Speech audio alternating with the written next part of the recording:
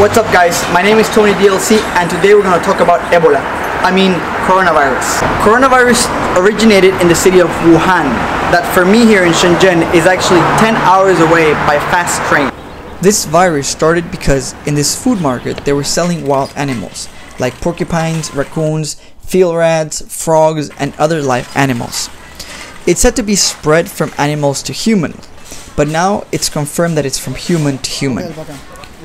How are we doing here in the south of China? As you can see, almost everyone in the streets have covered their faces with the face mask. The government has sent some basic information on how, how to prevent this mass spread.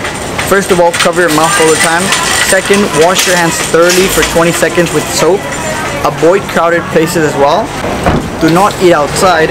And if you cook, try to always be sure you buy your meat and your vegetables from a reputable place.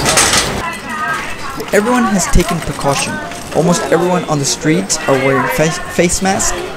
Up to this date, 25th of January, there has been 15 cases confirmed of coronavirus here in Shenzhen, and the number keeps rising.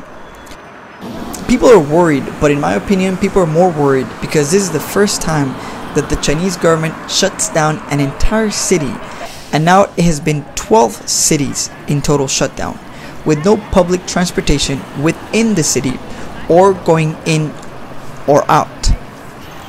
That scares because the first time we see China take such drastic measurements to control the spread of this virus, especially now that it's the Chinese New Year, the biggest migration of humans in the world when millions of Chinese people travel around China to visit their family members and loved ones.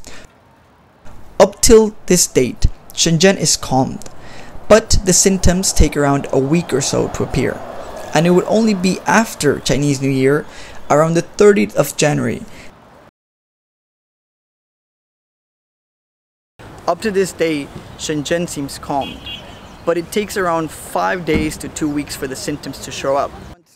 So in my own opinion, what will happen is that we will see more cases growing because all the Chinese come back after the 30th of January. They come back to their normal life, to their normal work, and to the normal city which they live in. And that's when we will see more cases spread out.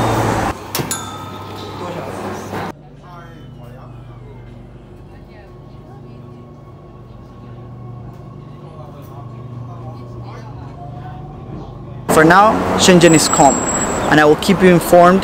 Thank you so much for watching. Tony DLC out.